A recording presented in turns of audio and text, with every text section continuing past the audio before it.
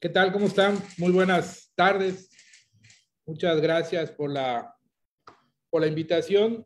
Este, saludo muy cordialmente a eh, los que se encuentran conectados, así como a los titulares de la, Secretaría Ejecutiva del Sistema Local Anticorrupción, al Instituto de Transparencia, al Instituto, perdón, de Administración Pública del Estado de Quintana Roo, eh, a los que hacen posible esta mesa de co-creación de la ley del Servicio Público de Carrera de Quintana Roo. Eh, pues yo estoy muy agradecido. La verdad es que, quisiera compartir con ustedes unas, unas breves reflexiones. Yo inicié laborando precisamente en el servicio público hace un poquito más de 20 años. Este, y comencé en un área que era de archivista.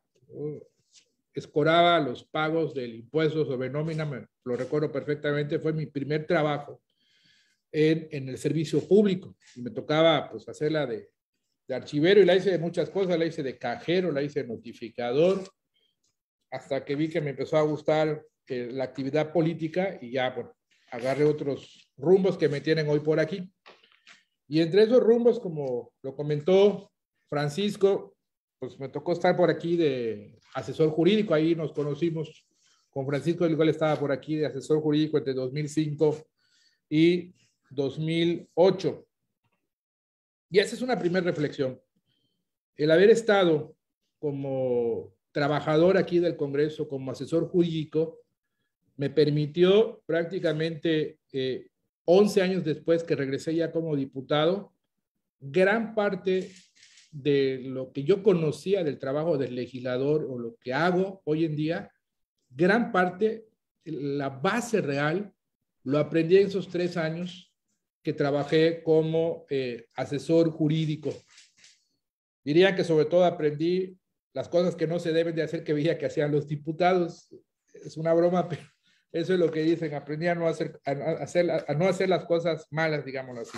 No, pero la verdad es esa, es el, el, valor que tiene la experiencia y si una persona, en mi caso, en tres años de experiencia, pudimos eh, expresarlo, creo yo, de una manera eficiente ahora que he estado aquí. Imagínense, los que llevan no tres años.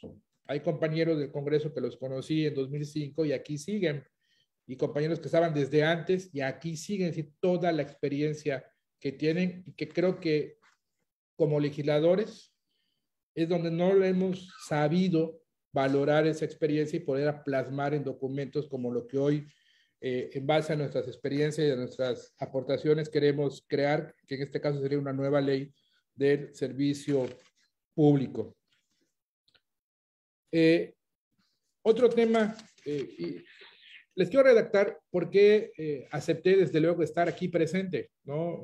aunque más adelante el maestro Halsa Medina nos va a ayudar con la parte ya un poquito más técnica en las preguntas que nos están haciendo, pero lo que sí quiero tratar de transmitirles es porque o sea, sí me identifico eh, con este objetivo y sí quiero ser parte actuante de este objetivo.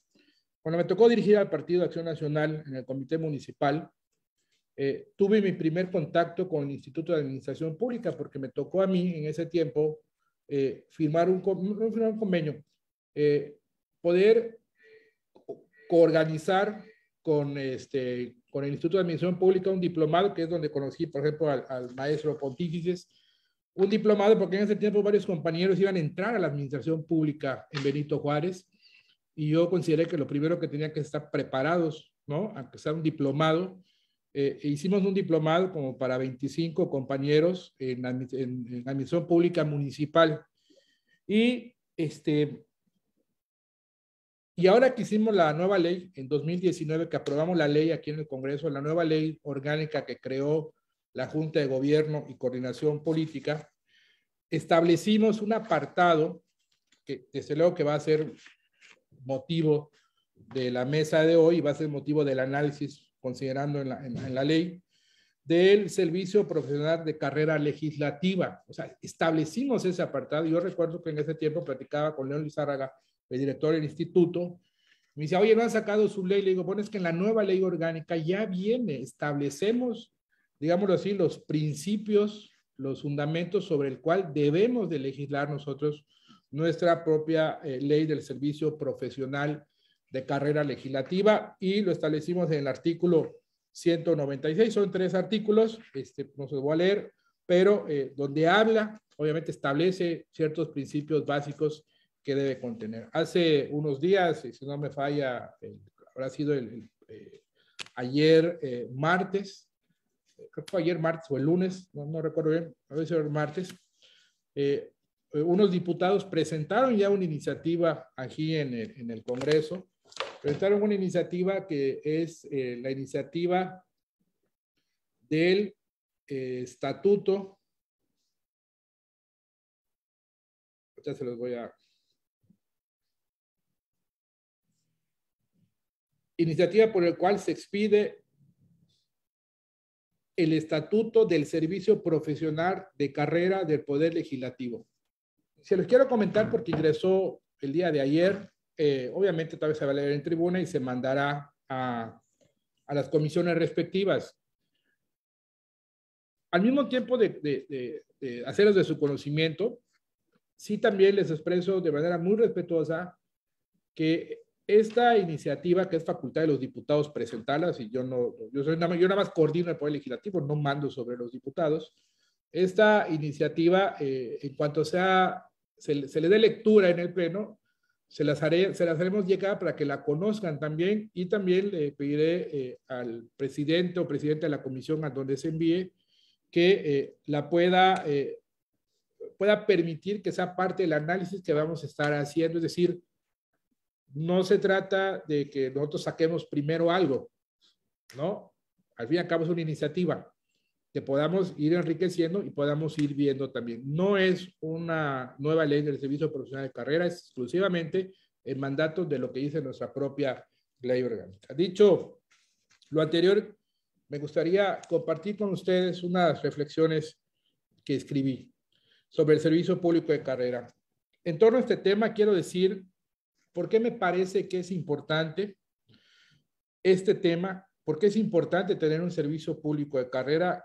Y lo haré mediante dos reflexiones. La primera la hago en mi entorno, en mi propia experiencia, que es lo que les comentaba como funcionario público, y las posibilidades que fui encontrando para poder avanzar y estar hoy donde estoy. Y por el mismo eh, eh, espacio y oportunidades que encontré, y que no fue porque lo dijera alguna ley. Creo que es importante que se tenga una ley y que esta ley sea verdaderamente efectiva para lograr el desarrollo profesional de los servicios públicos. Actualmente, eh, yo he estado especializándome en impulsar todo el tema educativo, que tiene que ver con la formación de las personas como medio para que desarrollen su potencial y su grandeza. ¿Por qué lo hago? Porque estoy convencido que una persona que logra desarrollar su talento va a aportar acciones y obras que van a mejorar su entorno, que van a mejorar su municipio, que van a mejorar su comunidad, que van a mejorar el Estado, que van a mejorar el país. Segundo, una persona que logra desarrollar su talento es una persona feliz, es una persona positiva y va avanzando en mejores caminos del desarrollo personal. Bueno, eso eh, eh, que lo vemos en la educación, esa debe ser una motivación para los servidores públicos, para desarrollarse y saber que lo que van conociendo y lo que van acumulando de experiencia les va a permitir desarrollarse profesionalmente en algo que ellos decidieron que esa es su vocación, que es ser un servidor público, ¿no? Este, a lo mejor no todos desean ser toda la vida, tener un cargo menor, no porque así lo hayan decidido, sino porque no encontraron en la ley o en, eh, en, la regulación de su relación laboral con cierta dependencia la posibilidad de ir creciendo, pues no es porque no quieran o porque estén muy contentos donde están. ¿Dónde está, eh, digamos, la parte donde se rompe esto o qué es lo que creo que debemos de revisar en esta ley y mejorar? Bueno, hoy en día un funcionario público no tiene ninguna garantía de seguir creciendo como profesional. Este es un tema delicado porque existen cambios de gobierno cada cierto tiempo, cada tres años, cada seis años. Bueno, aquí en el Congreso, con el nuevo formato, es cada año prácticamente se va a estar teniendo cambio en, en, en el órgano de gobierno del Congreso. pero es igual importante valorar que la profesionalización de los servicios de los servidores públicos y la permanencia de muchos de ellos es crucial para mantener un orden y crecimiento en los poderes de gobierno. Y, a veces nada más nos enfocamos, se va una administración, viene otra e inicia de cero prácticamente. Este, lo que estamos eh, eh, realmente hablando es de que un grupo de trabajadores y de servidores estuvieron un tiempo, llegó uno nuevo y los cambiaron a todos y desde luego el que llega pues va a empezar de cero. Entonces no puede haber una continuidad en, en el servicio público. Ahora, eh, cuando hablamos de los poderes del gobierno, aparece aquí algo que, venía diciendo. Los poderes tienen autonomía y considero eh, no es viable, posible, todo es posible, pero no es viable que para todos los funcionarios del gobierno, del estado de Quintana Roo, este, les rija una sola ley. Es decir, sí creo que eh, debe haber apartados o en el caso de los poderes, deben de tener su propio estatuto en materia de servicio público. Porque miren, eh, cada poder debe establecer sus reglas para el crecimiento de sus, funcionarios como profesionales. Eh, creo que podemos lograr una ley que promueva que se valore el servicio público de carrera, pero creo que cada poder debe tener particularmente sus propias reglas de evaluación de seguimiento, de profesionalización, de ascensos de sus servidores públicos en base, obviamente, a su eh, materia. Más adelante, ahorita que eh, eh, haga el uso de la voz el maestro Casa Medina, y entre las preguntas está eso precisamente, es cómo, cómo podemos establecer una ley que valore, por ejemplo, los servicios especializados que presta un doctor en el, en el servicio de salud, o que presta un maestro eh, en, el tema educativo, ¿sí? O que presta un eh, policía, por ejemplo, o que presta un agente del Ministerio Público. Entonces, eh, en este caso, lo que, lo que los servicios que presta un abogado, por ejemplo, en el tema de la dirección jurídica de apoyo legislativo o de proceso legislativo, ¿no? Que son áreas muy especializadas en el tema del Congreso. Yo en conclusión quiero tratar de, transmitirles. Primero, el compromiso que tiene esta legislatura, que tengo un servidor en lo particular, de sacar adelante esta ley. Este, eh, ya veremos si, si es una ley que de ella pudiera emanar, salga el mandato para que cada poder tenga su propia ley. Eso es parte de, del análisis que se está haciendo, entiendo. Pero que sí salga adelante eh, eh, segundo, que no solamente en esta mesa, sino en lo que todo lo que podamos eh, aportar este, en materia de, conocimiento, de experiencia, de dar herramientas, de compartir herramientas, pues estamos en la mejor disposición de hacerlo, aquí sobre todo a través del maestro Hassan Medina, que es quien está llevando la batuta aquí en el Poder Legislativo.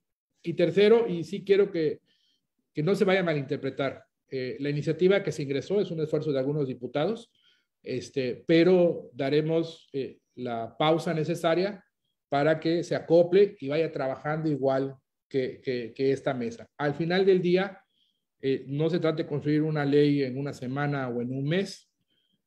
hay periodos de gobierno y me parece que cuando nosotros aquí en el Congreso aprobamos la ley de imagen institucional, que lo hicimos, me parece que en 2018, me parece, o 19, no, recuerdo, que era un tema de la imagen institucional que deben tener las administraciones públicas, tanto el estatal, el propio Congreso como los ayuntamientos.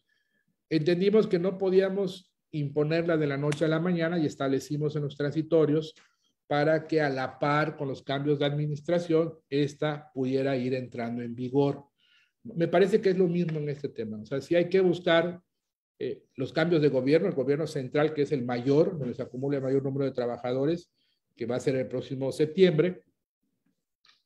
Según yo, tendríamos un buen tiempo para poder sacar la ley y establecer muy claramente los transitorios cómo iría entrando en operaciones en vigor esta ley para ir dando certeza. No es algo, creo que sea de la noche a la mañana, este, porque al final del día el actuar y las conductas no necesariamente se modifican a la par que uno puede modificar una ley. Es decir, a veces tarda en surtir, son conductas, es la conducta humana, es este, el, el, hábito a veces que tienen los servidores públicos, no es tan sencillo porque se cambia una ley o se expide una nueva ley que de manera inmediata cambie toda una actitud de finalmente todo un sistema que conformamos los servidores públicos. Así que yo concluyo con esto. Este, les agradezco mucho eh, eh, el espacio. Voy a seguir aquí presente, como hasta las 6.30 me dicen que es posible que concluya. Voy a seguir presente hasta que concluya.